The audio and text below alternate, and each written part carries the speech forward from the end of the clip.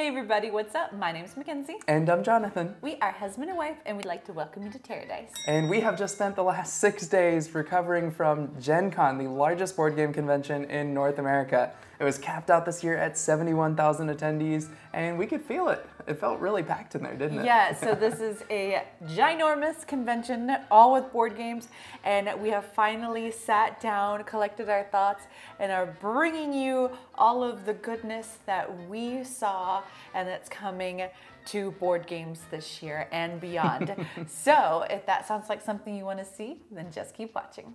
Okay, so we're gonna start by talking about our massive game haul. Now, the first thing people do when they get back from conventions is they post a picture like this, where they yeah. show all of the games that they brought home from the convention. So we're gonna start by talking about games we brought home, some that we bought, some that we got as review copies. Uh, now, there is sort of not really a distinction between how much we like the games, whether we got them as review copies or bought them. Uh, I think there are lot of games that we got as review copies that we would have otherwise purchased. There are also some that we'll be having coming in the mail in the future or we'll be getting soon. So we'll talk about those as well that we saw at the convention.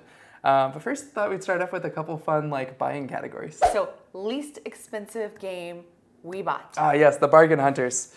Right here, we got Endangered Rescue Galapagos Penguins. So this is from Grand Gamers Guild, and it is a 60-minute escape room in a tiny little card pack. it has it eight, 18 cards. Uh, now I did open it up. There is a QR code which brings you to a website, and there's a whole sort of web interactive thing associated with it. But it was on the hotness list and seemed quite interesting, so I'm excited to check it out. And our most expensive game we bought. Oh, I'm so sorry, Mackenzie. this is Moonrakers Titan Edition. Now, I picked up Moonrakers. It's a game that we've played before, um, but it has just one of the best, coolest, unique mechanics I've played in a negotiation sort of bargaining game. Basically, it's a deck builder where you're going to have to try to fulfill these missions, but you almost never be able to do it on your own. So instead, you'll ask your friends to help. And the rewards on the like quest cards that you go under the mission cards are divisible. So I can say you get two of the points, you get two of the cards, I get all the money, and we can kind of split things up. Uh, it's very interesting.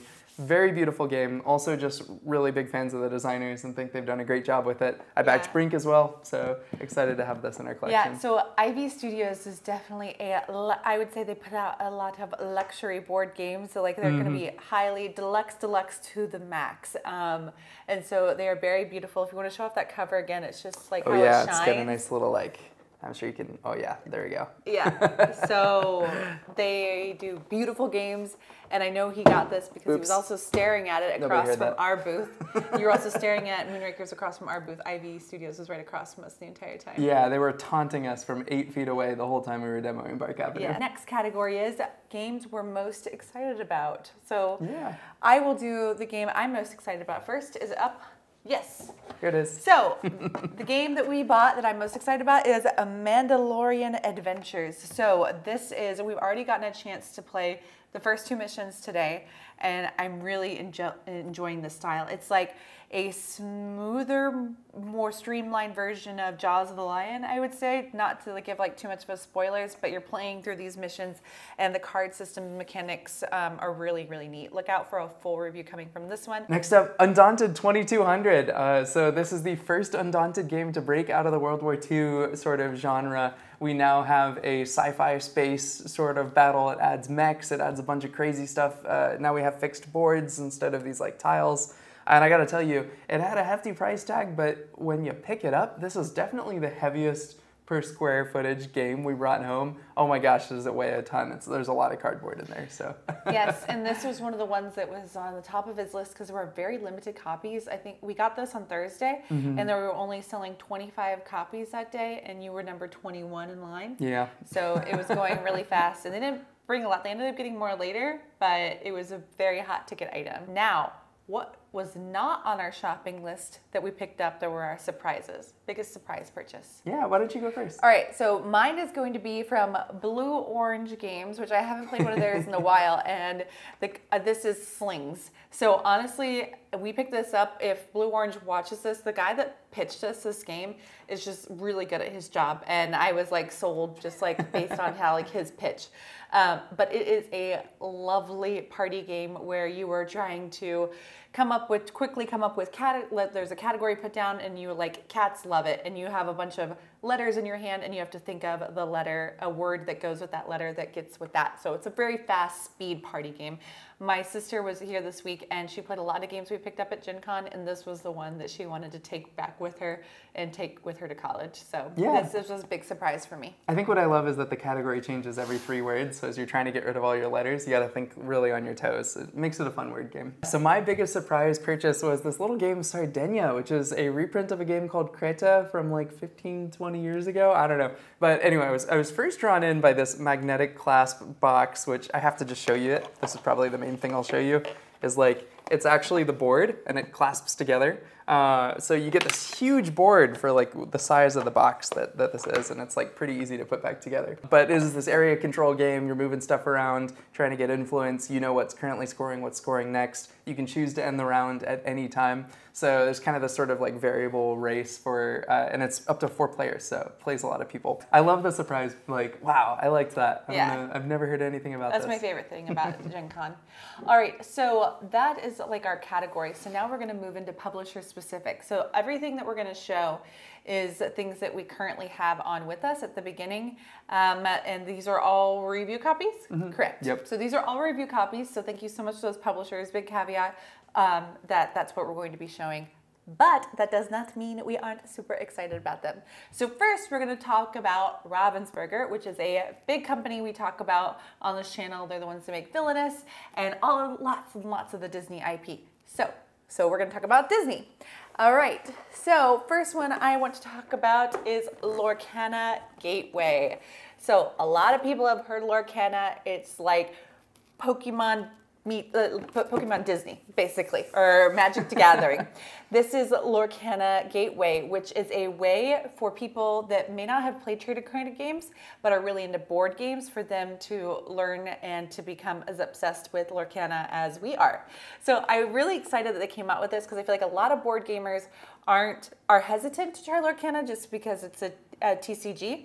And we got I haven't played this, but Jonathan played it the other night, and I'm excited to go through this as well. It just seems like a really fun idea. Yeah, in a few words, um, basically missions that will progressively unlock more and more mechanics in the game, and you actually get a board. And for people who are like me and were thrown off by the little paper damage tokens when they played their first trading card games, you get real cardboard punch outs. So for you Lorcana people out there, if you want punch out cardboard damage tokens, that's reason enough to buy this. Next from Ravensburger is going to be Chronicles of Light. Now, we mentioned this in our Gen Con pre-show, but I was very surprised with how much hype this was getting.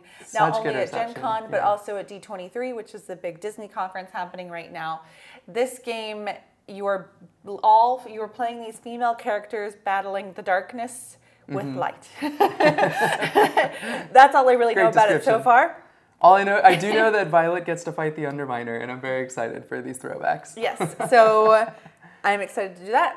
Full review coming for that very, very soon. Next from Ravensburger, we have this one, which Ravensburger was very excited about because they gave us this pigeon, and it's called Oh My Pigeons, uh, a ridiculous party game of foul play. So there it is right off the bat, how ridiculous this game is. It's definitely going to be a party game. We got to play through it once the other night, uh, where you're going to be trying to get all of the all your pigeons lined up on the bench before other people can. You will lots fling of- pigeon poo. Yes, it's lots of take take that. that, uh, fun. More information coming on this one, but there was lots of people were very very excited at Gen Con to get these. They had like a claw machine where you could try and get a pigeon. So more on that coming soon. Now, last for them, do you want to talk about this one? Yeah, sure. Uh, we got That's Not a Hat pop culture. So we have a new That's Not a Hat game. Main mechanics difference is there's now cards that you can send in any direction. So not just left or right, but like across the table. And then this is all like pop culture like references. So it's I mean it's things like lava lamps too, but like there was a capybara and I didn't know what a capybara was. And Logan, or Mackenzie's sister, was like, duh, it's a capybara. Uh, because they're apparently very popular right now on the TikTok. so a lot of like really kind of silly things. Next up, we have Kosmos. Yeah, Take it cool. away. So Kosmos, just two things. Uh, we have Vendetta, which is sort of the like adult exit game. Uh, Mm-hmm. So this we're playing as sort of morally gray characters that are potentially good, potentially bad, and we're kind of like covering things up. So interesting theme choice there. Excited to check this one out. It looked really cool. They had it splayed out on the table. And we will be getting a copy of The Gang, which is like being marketed as the crew killer. It's like basically can we Poker. guess whose poker hands are going to be better than whose based on hints that we're giving before the final hand comes out. Yeah. And it's really fun. We, we enjoyed our play They of it. pitched it to us as if uh, you can get people that like poker to play it with you, and also if you don't know how to play poker, this can help you learn how to play poker. so that is from them. They showed us a lot of games, but those were the two of our most anticipated from them. Next up, we have Allplay, which I love this company, and so we were able to check out some fun things from them. The big one, and probably a huge game at the convention that people were very excited about, is going to be. Da, da, da, River Valley Glassworks with these cute little animals. The artwork is by Andrew Bosley, which is a really big board game artist in the industry right now. He's known for the Everdell art, if you're familiar with that. In this game, uh, we got to play through it once. You are trying to Ooh, twice. We put it back to back. Oh yeah, you're trying to make glass, and there's all there's going to be this fun river thing, this fun river flowing down the glass flowing down the river. Do you want to explain how to play this? Honestly, it's like it's like a you know river glass collection. Like I want a lot of the same colored stones. I also want to try to like get a lot of variety. Uh, honestly, it's it's really fun and it's short. It's what does it say? Twenty five minutes. I was very surprised with Yeah. how deluxe this was and how short it was, but I like short, crunchy games, so I like it so far. So more on that. Uh, next up from River Valley, I mean from Allplay, we have Habitats. Now this isn't a new game, but this is Yeah, it's uh, a slightly older one. slightly older game, but they thought that um, the marketing people there thought that I would like to check this out because I love animal tile placement games, which it seems like this one is that theme. You are trying to create a, you're creating a wildlife reserve and you're trying to put the best animals that will fit in your wildlife reserve.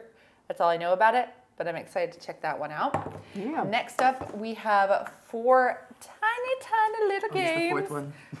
four tiny little games from Allplay.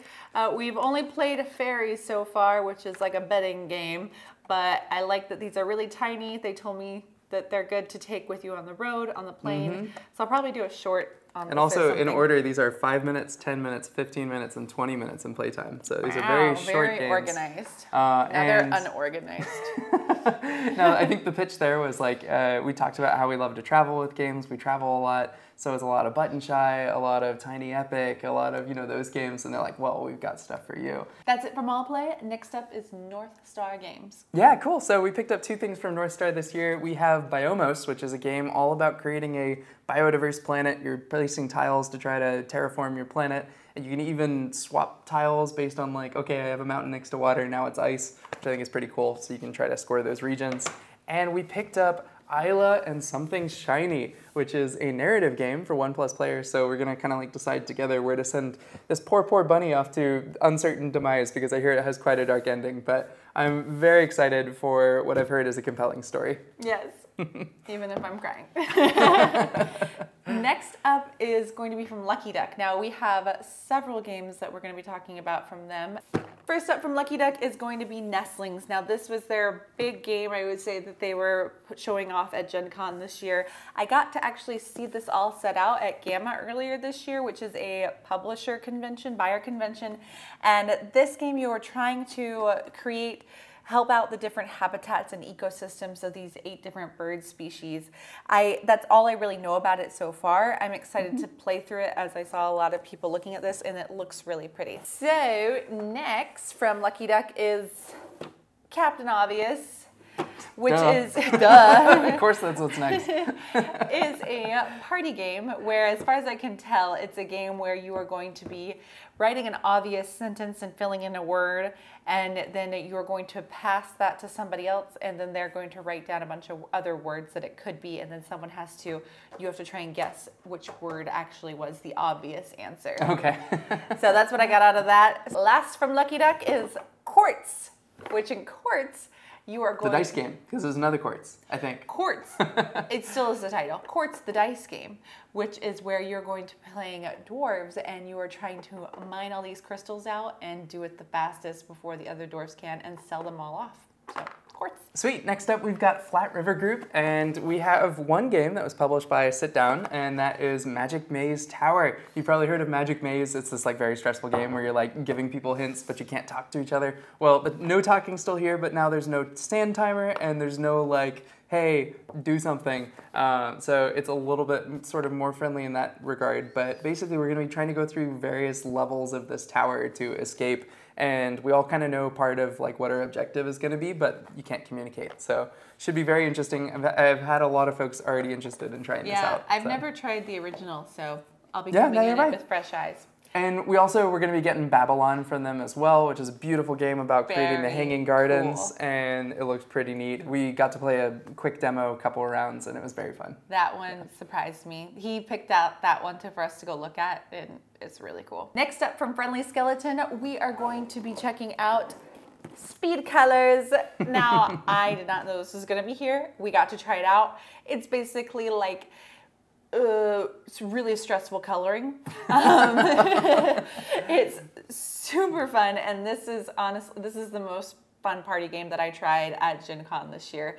Uh, so Yeah. you're going to be trying to memorize the colors of these card, and then you're going to be flipping over that card and trying to recolor it. The catch is that those colors are all laid out in the center, and there's only one marker for each color. So everyone's going to be trying to You're waiting for the purple those- card to go. yeah, and trying to remember. Um, so lots and lots of fun, lots of laughs with As you just one. repeat in your head, purple, orange, green, blue, yellow. Yes, and the markers work really well.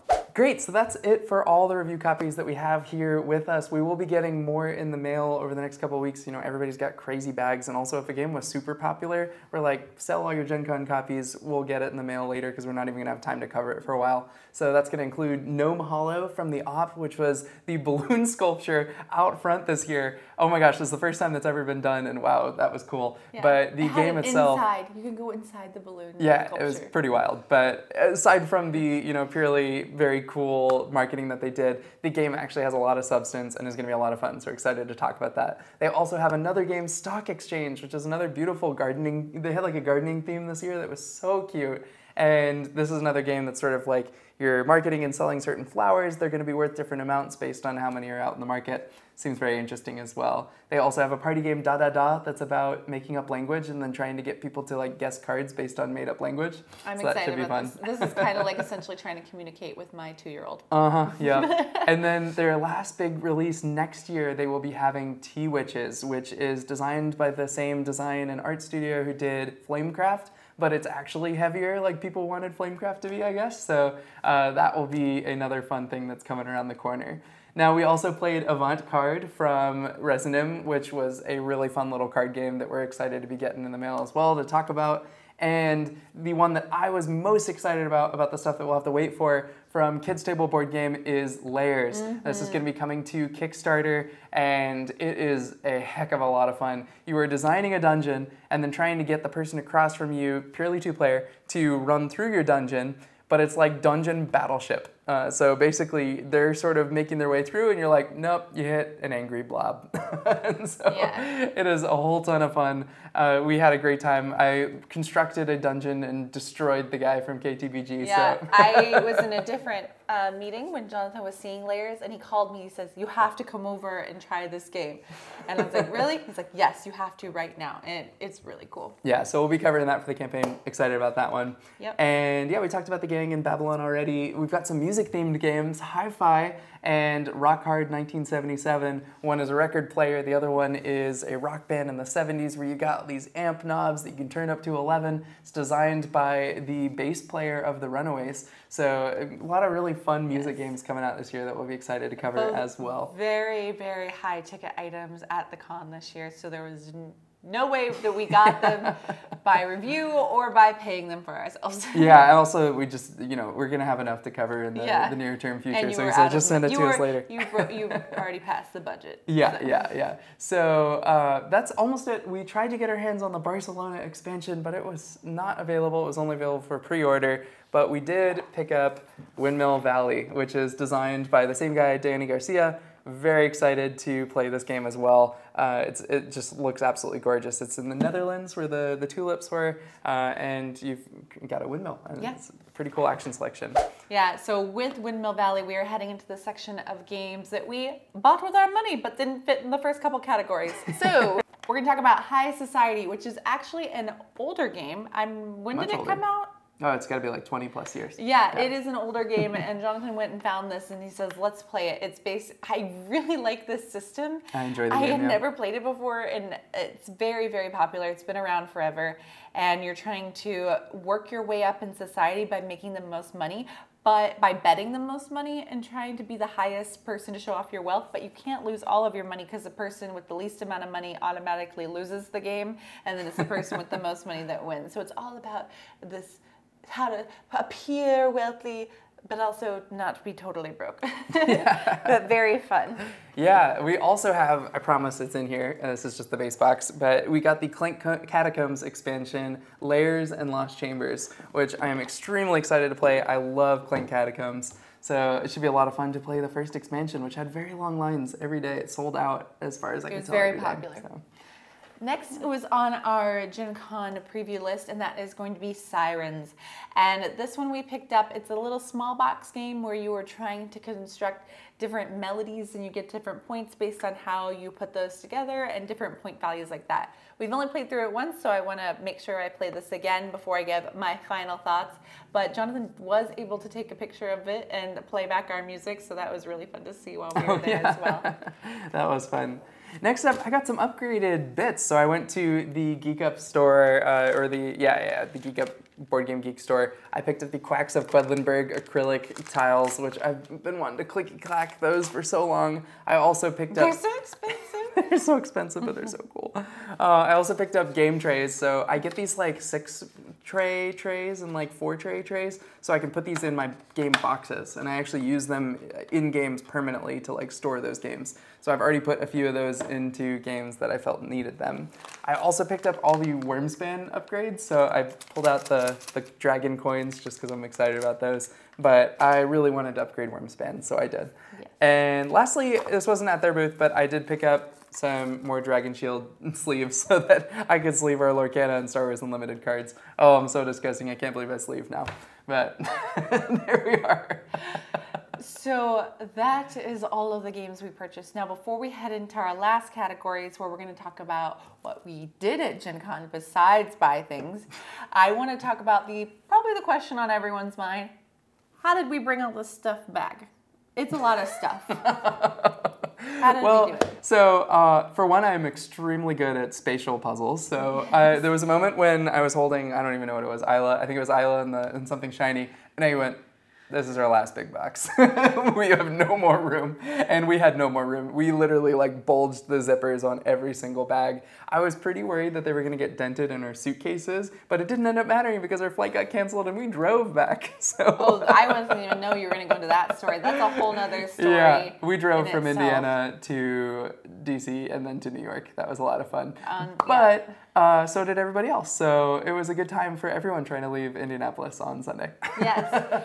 So, but no, really, how we did it, how we got all these games back is that we had checked an extra suitcase that had um, just Bark Avenue, uh, which is our game, upgraded components that we ended up Oh, selling yeah. the majority of. So we had a, pretty much an entirely empty suitcase, which was the plan all along, like to encourage Mm-hmm. us to sell that. So that's how we were able to bring all of these back. I made a beautiful Ivy Studios tote from our purchase of Moonrakers as Mm-hmm. well. One thing that I did that was pretty cool, I like am not the type of person to like the like war games where you gotta like measure stuff, but I wanted to try Star Wars Legion because they had it set up on this beautiful Naboo battlefront. So I did play that. I did a quick demo of it at the Asmodee booth, which the Asmodee booth was amazing this year, by the way. They had huge setup demos of Survive and as uh, the the Mandalorian game and all these other games, super cool. But I did enjoy playing that. I wouldn't buy it, but I enjoyed that I got to play it. we did this for the a huge a lot of the convention, so we definitely have to mention it. Is our game Bark Avenue? It's about dog walking in New York City. That was at the Good Games Publishing booth this year. Uh, they are helping us publish and bring that to retail. It came out in December, and it, we worked at that booth a lot, uh, demoing the game, Yep. talking to people about the game, and if you're watching this video and you're one of the people that came up and chatted with us, thank you so much. And if you're one of the people that sat down and demoed the game and you're finding this video being like, hey, I know those people. Thank you so, so much. We really appreciate it. And we love talking to you guys, at talking about this game and actually getting to meet people that actually play the game in real life. Eh, There, I don't know. There's like that. It's such a great joy, and it really makes it all worth it. And so we also announced during Gen Con that we have a brand new expansion to Bark Avenue coming out, Bark Avenue Kings and Queens. And we announced that we'll be coming to Kickstarter, hopefully, uh, later this year. So I'll put a link down below if you guys are interested in following that Kickstarter so you know when it launches. But that was a big part of what we were doing as well. And Yeah. we also were selling upgraded components. We don't have many left, so I'll put also put a link to our website if you want to go check those out. And that is those squishy poops that I'm talking about. Also, a plug for our partners that were sitting next to us from the Good Games booth, and those were the people that were putting out Curses and Covens, which is a really cute kind of like tarot card game where you're trying to find the witch. The witches in the town, and it's one against many, and they ended up selling out. So very excited for them.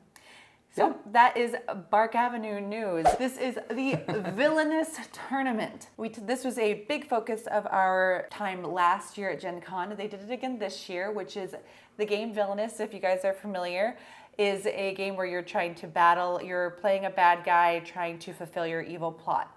And they did a tournament, and I got to go back and cover the tournament this year. The fun thing was that the same guy that ended up winning last year was You're also was also competing in it again. And he ended up winning again. So he is awesome. If you see this video, you're you you're really great. And so is like everybody else You was playing. it. I loved I love going around talking to everybody about how much they love Villainous. If people had seen the channel, that was really cool. And they had a fun mashup. The final ended up being a three-way between three King Candies, which was just like Wild. crazy. Race to the finish. Yeah, so there, it took place over four, uh, three rounds. Um, so the first round that everybody was in, it was the base set from Intro to Evil, which are those four base characters. The next round they ended up doing was also a four-player game of Yzma, Pete, Scar, and Shere Khan. Now, if you're watching this part of the video, since nobody answered it uh, correctly on my Instagram, I'm gonna plug it here because the people over at Ravensburger said if you can guess this correctly, they will send you something. So leave it in the comments. First, first comment I see, that's how I'll do it.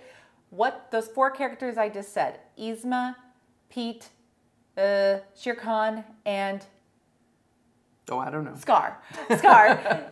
what do these four have in common? Is uh, one answer that they said they kind of went for a theme. So answer that down below, and Ravensburger will send you something if you're first one to get it right. Yeah. And speaking of Villainous, we also got to chat with a couple of designers of Villainous. Yes. Importantly, we spent time with Aaron Dono, who is one of the original designers of Villainous. He created the like uh, Captain Hook loses his hand card, like all those sort of like original fun mechanics that Yes. we loved. I was So- able, we were both able to sit down and have a long interview with him about starting Villainous and the creation of the system and everything like that.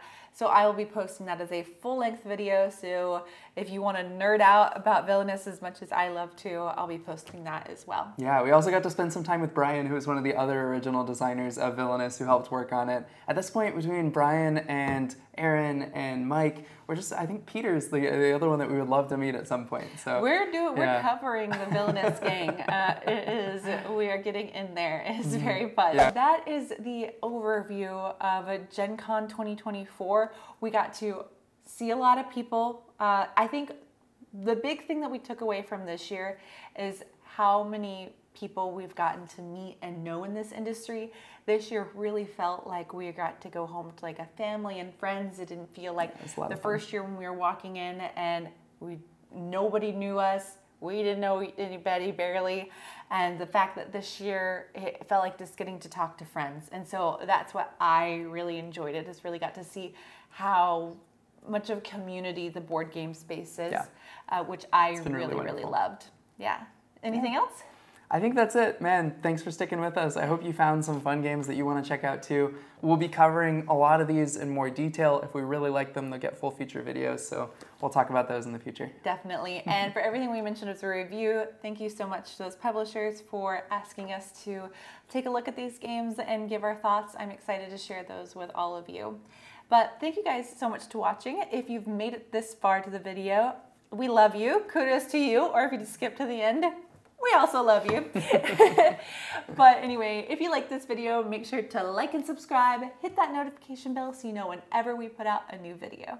And we'll see you next time. Happy, Happy playing. playing.